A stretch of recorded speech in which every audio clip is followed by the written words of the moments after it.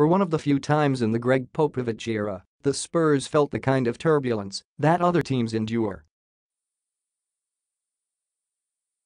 The proud franchise dealt with the quiet yet destructive storm caused by Leonard, who played only nine games and missed the playoffs because of strangely persistent quad injury that confused and annoyed coaches, players and Spurs fans. A wedge of distrust was formed between Leonard, an NBA Finals hero and considered by many to be the NBA's best two-way player, and a team that prided itself on stability, professionalism and good relationships with its stars.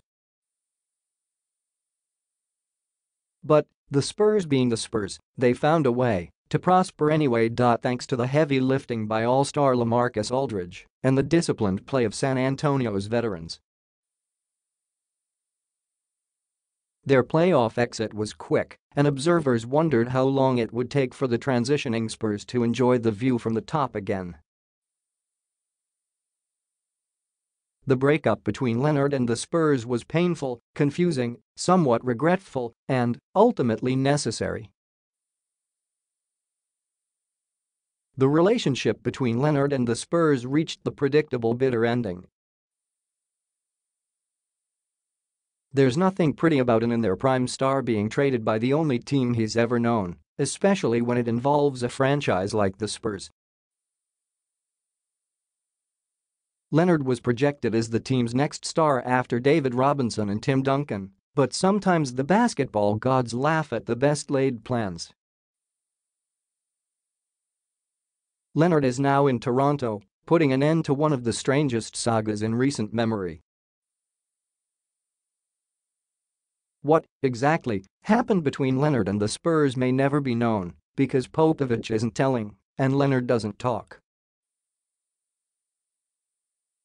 It makes no difference, though, as the Spurs have moved on minus their former star player. Replacing Leonard is DeRozan, who wasn't exactly thrilled to leave Toronto, which is no disrespect to the Spurs, DeRozan was the opposite of Leonard someone who wanted to spend his basketball life with the team that drafted him. DeRozan is neither the defender nor the clutch playoff scorer Leonard is. However, DeRozan is a legit scorer with a reliable mid-range game and an improving three-point shot. He must develop a chemistry with the big man, Aldridge, after sharing a solid vibe with all-star guard Kyle Lowry in Toronto. The Spurs also had to surrender Green in the trade, who is a solid defender and a career 39. 5% three-point shooter. Green's presence and ability to stretch the floor made life easier for Aldridge, who may not enjoy the same advantage with DeRozan. Poeltl, a mobile seven-footer, also came over in the Leonard trade. The reliable reserve big man improved his offensive game in 2017-18 and was a key part of Toronto's 59-win season.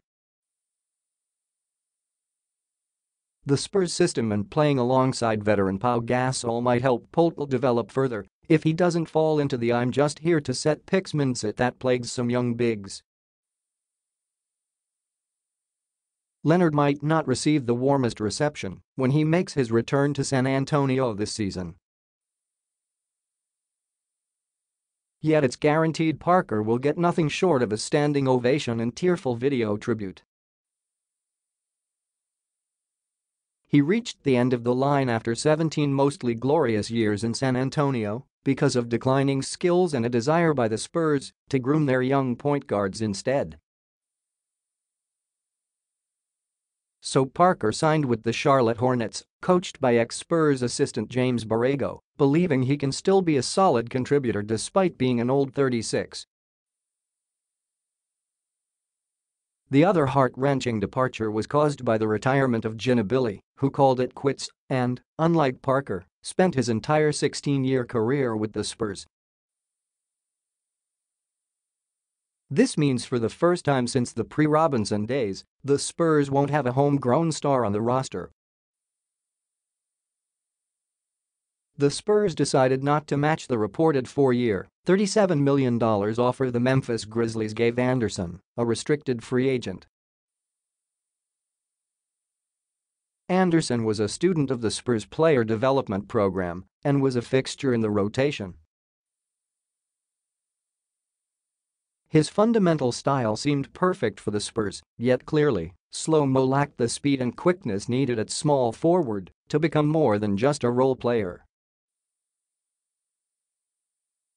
The Spurs have enjoyed success with mid to late first round picks and, at number 18, took Walker Ivey. He's a lively guard who will make the NBA's all-hairstyle team before he plays a minute.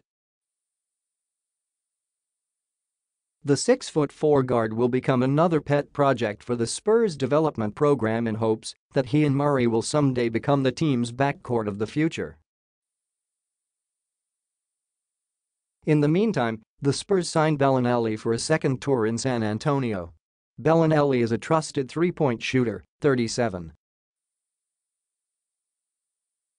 7% for his career who should fill some of the void left behind by Green. It was the busiest offseason in recent memory for the Spurs, an organization that rarely makes big trades and, with the exception of Aldridge, almost never signs big-name free agents. That's not to suggest the Spurs are suddenly changing their approach. They'll continue to grow organically, as evidenced by Murray, Bryn Forbes, who was given an extension, and now, Walker Ivey, But this was a summer that shook the franchise and tested the limits of Popovich, who will turn 70 this season and may take a long look at his own future in San Antonio.